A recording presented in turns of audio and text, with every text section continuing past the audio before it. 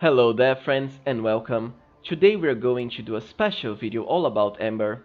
With You're all of the different ways you have of I solving like her you. personal quests, you actually have three different ways. The good and supportive way, the stern and lawful way, and also the evil and mean way.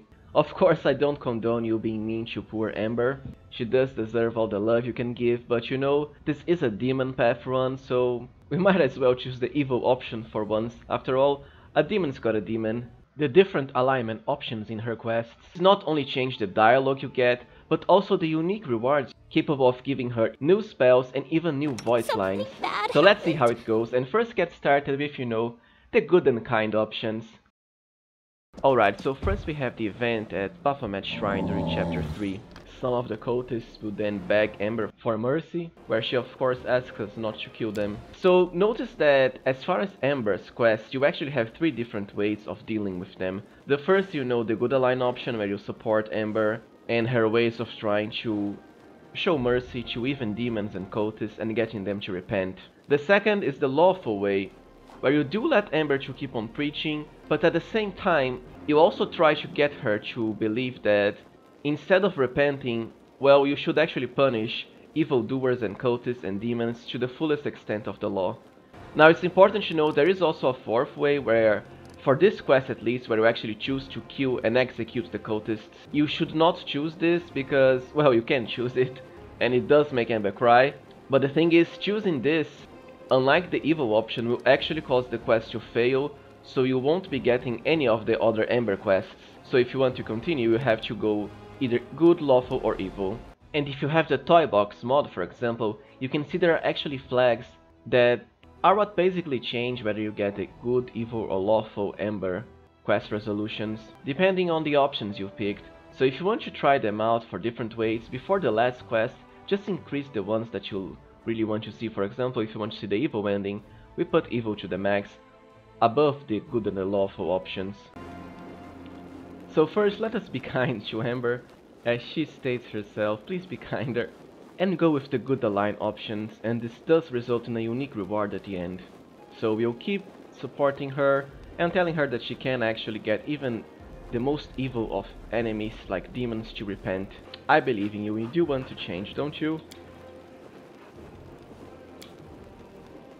Oh, Ember turns to you with a smile. It's always nice and heartwarming. Now let's go for Ember's second main quest, where we get her to talk with Nocticula, the succubus queen. Ember. So that's her then? Ember already starts crying. I think it's pretty neat that this quest is actually voiced both for Nocticula and some Ember lines. I can't stand these noises. I. I know what you had to do. I'm so sorry. So sorry. If only I could ease your pain somehow. And of course we can already pick the evil option right here, but first let's go with the good one. In my realm, I decide to whom I should listen and whom I should hang. So, where were we? My pain? My sorrows? I'm so sorry. You're the most miserable soul I've ever seen. What is this saccharine drivel? What do you even know of me, Nat? I've seen your city. You were the one who built it. It is the way you wanted it to be. And this is what you brought her to me for. And here we already have our triple alignment options again, good, lawful and evil. There's also a chaotic one, but I don't think it really matters in the long scheme as far as solving Ember's personal quest. So let's go with good for now. As if I hadn't seen enough sanctimonious bores in my life. So, what do you suggest I do, preacher? No, no. Gods can't help anyone. They're just like us mortals.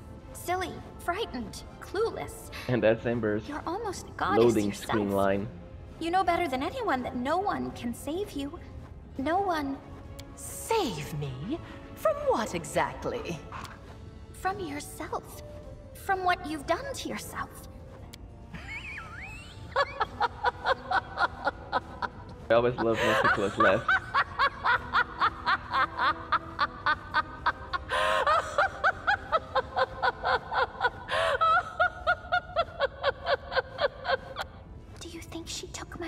heart? Probably.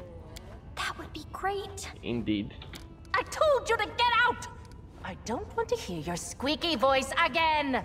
And now let's do Ember's final quest in the good, caring and supportive way.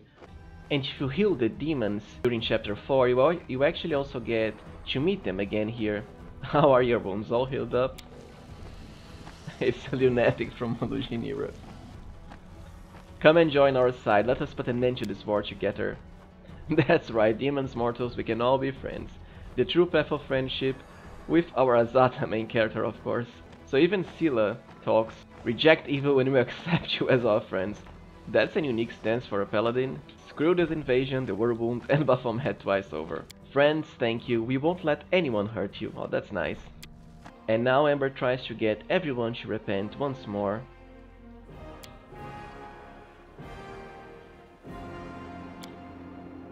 So let's close it all together and finally end this war. We don't have to fight him and repent and come to our side.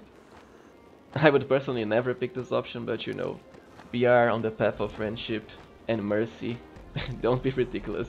Yeah, that's more along the lines of what I would say.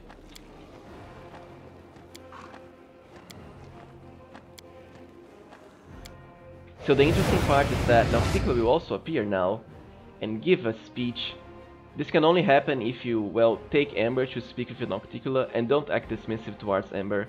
But I do believe you can still get a good outcome without having Nocticula appear here.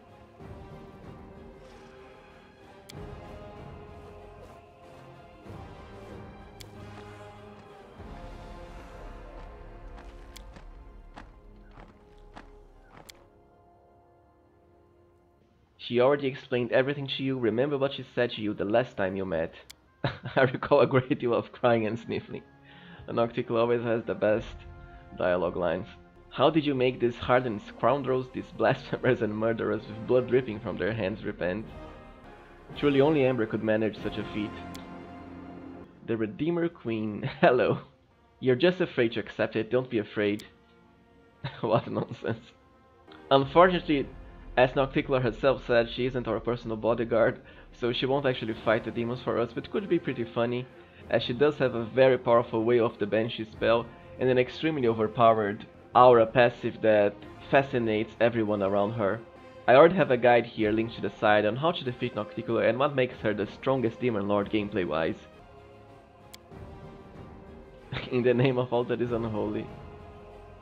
So that's your new title, the Redeemer Queen, yeah, let's Let's go with this one. the next person who calls me that risks becoming acquainted with my collection of torture implements. That's actually a plus for some of the viewers, I'm sure. As if, do your own fighting, yeah, so she won't really help us with the battle. Queen, she pretends not to understand, but she understands everything. Death to mortals and glory to Baphomet. Fun thing that Tasgarod conveniently forgets we've just demolished Baphomet at the end of chapter 4, but okay. Okay, buddy. I'm sure Baphomet's going to help you. It all worked out so strangely. We've killed many people. We've saved many people. These knights came here to kill each other, but instead, they became friends. Everyone is going to become a friend whether they like it or not on our Azata mythic path. Everyone is praising me, but I know I did nothing special.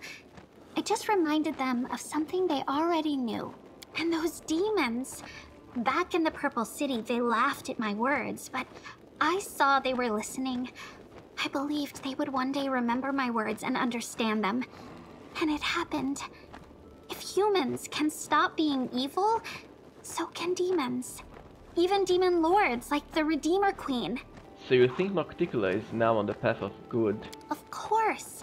She is very proud. She'd never say it out loud. But I see that she has changed. You know, I pray to the demon lords every day and ask them to oh, come oh, to their senses. is great, praying even to demon Deskari lords. and Baphomet don't listen to, me, but she, she's different. I know she hears everything. Maybe one day, not soon, but one day, she will get out of the abyss. And for those that follow Pathfinder lore, this does actually happen. Nocticula does officially become the Redeemer Queen.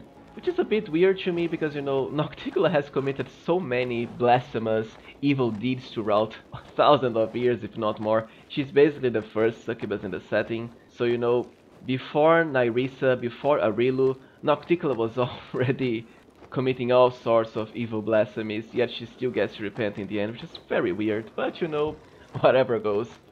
They weren't really cultists. They were good people who just got confused and started to think they were cultists. I just reminded them who they really are. Wait, what do you think? About me? About these knights? About everything that's happened? They are certainly right to call you Saint Ember and Ember the Righteous. Now you're saying that too. But I know I'm entirely ordinary. You've always been there for me. When I was scared and when I was doubtful, you supported me. If it weren't for you, I'd probably be long dead. Thank you. Oh, and that's probably the most heartwarming dialogue line that you can get with Ember, only during the Path of Good. An interesting note about doing this quest the good way is that Ember will actually get a plus 2 morale bonus to her charisma from her new Secret of Serenity passive that also gives her a new spell, a level 9 spell, also called Secret of Serenity. It only affects enemies, has a will saving throw, and if they fail the save, they won't be able to attack for one round. This thus has a lingering effect because it can last up to your caster level working rounds, so 2 minutes at max caster level, and they'll have to keep saving, so can be a good spell, especially if you want your Ember to be an enchantment focused caster. Now let's go for the lawful way of resolving Ember's quests, where you know we actually try to get her to punish the cultists that deserve it. She does still believe they can change. And now let's do the Nocticula event with the lawful option. I don't think it changes that much. I... So she believes that deep down everyone is good, even creatures that are evil by nature. I don't know what nature is and don't care a whit about cosmic good and evil. They are but labels thought up by philosophers. I know what power is pleasure, desire. All this childish babble merely amuses me, nothing more. And now we get the lawful you option. I doubt you will be able to understand her You message. think this You're a demon, of course sniveling is worthy of my attention? I am first and foremost myself. All who told me who I should be came to regret it. Leave it to windbag scholars to waffle on about how Eve able to fathom the path of good. I may be a demon, a demon lord, but I understand perfectly well what goodness is. I understand it, and I despise it. Do you think she took my words to heart? Who knows? I suppose you're right. We'll see what happens. And now we have Ember's last quest, but in the lawful path. So even at the start the dialogue is already different. There is a new unfamiliar undercurrent in Ember's voice for the first time since you met. She seems genuinely angry. So we have been successful in getting Ember to punish evildoers and cultists, instead of repenting them. Everyone who could change their minds has already done so, this Templar should not be persuaded but destroyed. Although even then Ember tries to still see the good in their hearts. I think this part is unique too, sparks flicker in her eyes and small flames dance on the tips of her fingers. You can't help but shudder as you realize how formidable this fragile elven girl has suddenly become. and now Ember goes full punishment mode on everyone. That's enough, enough of this nonsense. I think it's actually the first time you see Ember get really angry and mad at demons and cultists that she was trying to get to repent. I've talked about goodness for so long, you are blind and deaf to good words. I personally think this is the more reasonable way of doing it, you know, because she does still get the people who listen to her to repent, but for the ones that don't, she's going full punishment mode. I am sorry I have to do this to you, if only you had listened to me before, that's harsh. Oh, she actually already starts burning everyone. Forgive us, but I think it's too late. I'm so sorry I had to punish them. I didn't want anyone to be good only because they feared punishment. And I don't want people to be afraid of me. But what else could I do if they wouldn't listen to me and kept fighting and everyone would die? Turns out, punishment saved them. You told me it was true, and I didn't believe you, but you were right. And we actually get to ask her what kind of fire spell she used because if you complete her quest in the lawful way, she gains a new fire spell, a unique spell that only the punishment Ember will have access to. This trick? Soot told me about it, but I didn't want to use it. It's scary. Even I'm scared when I do it. I'm sorry I had to. But if I hadn't scared those good people, we would have had to kill them all, wouldn't we? If people weren't so silly, we could have just talked to them. But they are very, very silly. So sometimes we have to do scary things. You've taught me a lot of things. Sometimes you were stern, but that's a good thing. Because you were right and I was wrong. Now I also know how to be stern when it's needed. Thank you. So instead of a more naive Ember, we get a more stern Ember. And here we have her unique lawful spell, Storm of Burning Righteousness, that is capable of dealing 10d6 points of fire and 10d6 points of holy damage to all of the enemies, and if they fail the save, they also catch on fire, taking 2d6 fire and 2d6 holy damage each round. Her alignment still remains neutral good, which is nice.